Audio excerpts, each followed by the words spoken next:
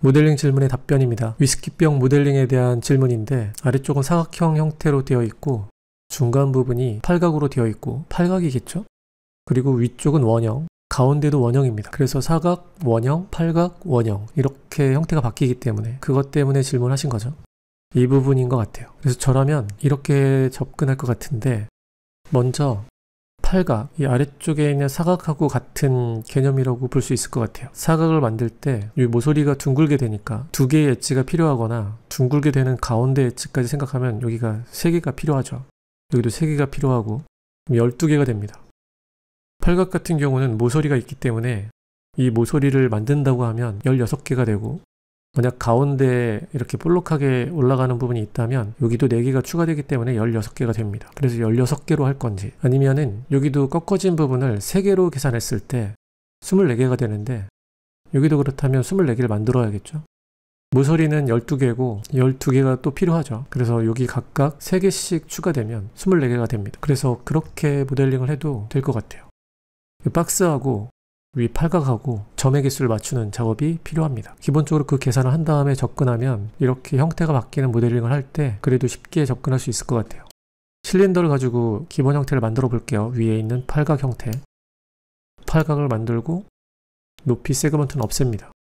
rotate 해서 angle snap 이렇게 90도 해놓게 되면 위치를 맞춰 놓으면 되겠죠? 높이 같은 경우는 저기까지만 가니까 이렇게 맞춰놓고 형태가 만들어지면 그때 더 디테일한 형태를 맞추면 되겠죠. 아래쪽에 사각도 만들어야겠죠. 박스 형태를 이렇게 만들어줍니다. 높이를 빼고는 똑같아야겠죠. 이 폭하고 똑같이 700으로 하면 되겠네요. 사각은 여기 모서리에 있으면 되겠죠. top에서 봤을 때는 위치가 지금 그림에 맞췄기 때문에 실린더하고 XY축 센터를 맞춰줍니다. 기본 상태가 만들어진 거죠. 24개로 할지 18개로 할지 고민을 한 다음에 작업을 시작하시면 될 것 같아요. editable poly로 converting 한 다음에 박스 형태는 위에는 없앨게요. 아래도 없앱니다. 모서리를 선택하고 chamfer 명령으로 라운드 되는 곳까지 모서리를 챔프해 줍니다. 가운데 부분의 엣지도 제가 24개로 한다고 하면 커넥트로 3개의 선이 필요하겠죠. 그럼 기본 형태가 이렇게 만들어집니다. 가운데에 있는 두 개를 다 선택한 다음에 위쪽으로 올려줍니다. 형태를 만들어야겠죠. 가운데에 있는 점만 다시 위쪽으로 살짝 올려서 부드러운 형태를 만들어주면 이런 형태가 되겠죠. border를 선택한 다음에 shift drag 여기 원형이 바뀌는 부분이 있죠. rapid tool에 geometry fast edge loop regularizer라는 명령을 실행합니다. 원형이 되면서 똑같은 간격으로 엣지 길이를 맞춰줍니다. scale로 이렇게 줄여주면 여기까지 가는 형태가 만들어지겠죠. 이렇게 되는 거죠. 아래쪽 형태도 지금 만들어진 상태니까 이 가운데쯤이 살짝 볼록하다면 그런 것도 만들어주면 좋겠죠. 그래서 edge를 swift loop 명령으로 아래쪽에 추가한 다음에 control alt 키를 누른 상태로 위쪽으로 드래그 하게 되면 이렇게 거의 원형인 상태가 만들어집니다. scale로 살짝 키워주면 이런 형태가 되겠죠. 약간 더 키운 다음에 chamfer 명령으로 최대값을 줍니다. 이렇게 가운데 이렇게 보간이 되면서 부드러운 형태가 만들어져요. 이렇게 추가해주면 이런 형태가 되겠죠. 오케이 컨트롤 리무브 그래서 기본 형태를 만들어주면 됩니다. 뭐 위아래 형태도 지금 이 상태에서 라운드가 생길 거잖아요. 그 라운드도 swift loop로 추가한 다음에 control alt 키로 이 아래 형태에 맞게 라운드가 생기게끔 이렇게 조절해 줍니다. 얘는 필요 없을 수도 있겠네요. 컨트롤 리무브 그래서 이렇게 올라가게 합니다. 가운데 걸 한번 보간해 줄까요? chamfer 명령으로 좀 부드럽게 연결되게끔 컨트롤 리무브 이렇게 만들어 줍니다. 형태가 어색한 부분이 있으면 얘도 한번 보간해 줄까요? 컨트롤 리무브 이렇게 부드럽게 되게끔 해주는 겁니다.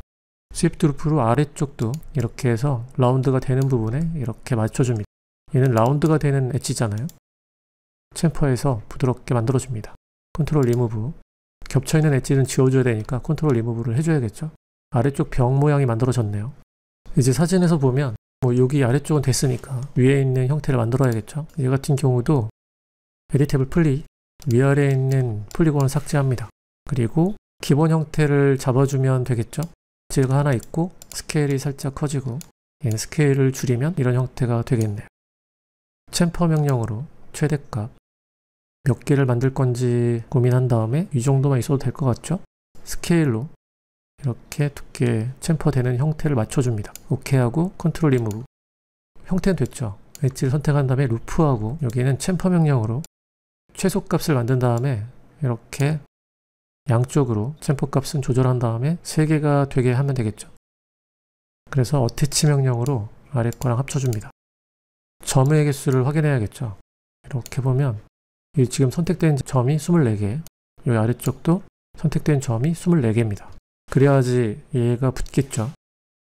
위에 있는 거는 팔각이기 때문에 보도를 한번 내리고 여기쯤에서 원형을 만들어 줄 거예요.